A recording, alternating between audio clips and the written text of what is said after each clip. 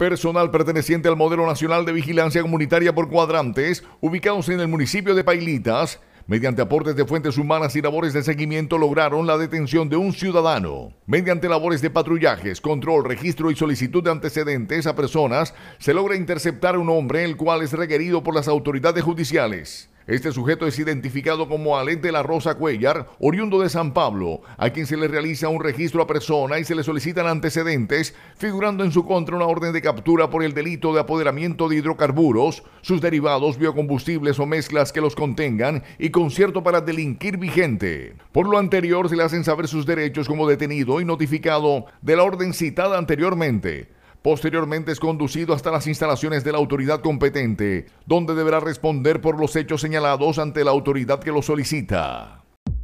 Multiservicios y mantenimientos del Cesar SAS.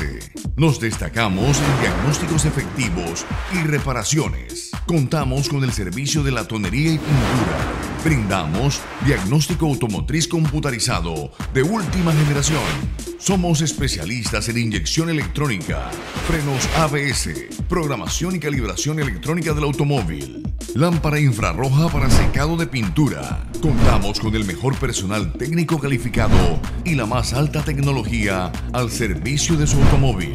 Trabajamos con todas las aseguradoras. Frente a ICA, calle 22, número 1411, Valle Dupar. Multiservicios y mantenimientos del Cesar SAS.